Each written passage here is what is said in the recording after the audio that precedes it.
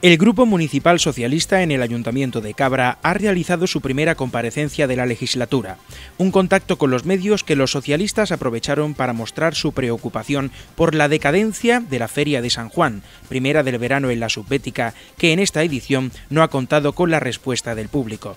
Los socialistas pedirán una comisión especial de fiestas para analizar la situación en la que no solo participen los grupos políticos, sino también los caseteros y agentes que participan en la programación buscar soluciones ante el poco atractivo que presentan los festejos.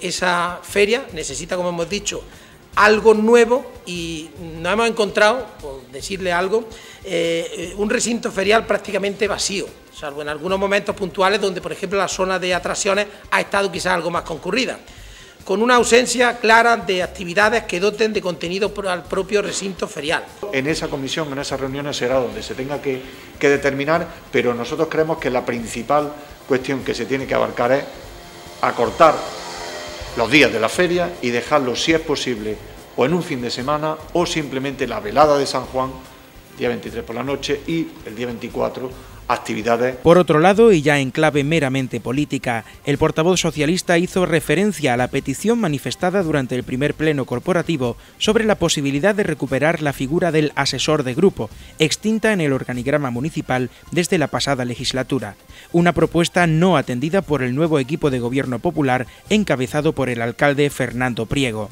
Esas son las asignaciones que el Partido Socialista va a recibir, pero en ningún caso sueldos. Por lo tanto, era imposible que nosotros pidiéramos, que yo pidiera en mi locución que no, que no nos bajaran el sueldo. Si es que no, ni lo pueden bajar ni subir porque no tenemos. Nosotros cobramos nuestro sueldo de nuestro trabajo que es fuera del ayuntamiento.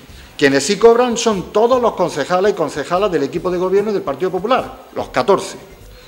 Por lo que solicitamos, exigimos al alcalde que no intente confundir a los ciudadanos y ciudadanas. Según el portavoz socialista, Priego intenta confundir a los ciudadanos bajándose el sueldo un 2,5% días después de conocer su participación en el Grupo Popular Provincial de la Diputación de Córdoba.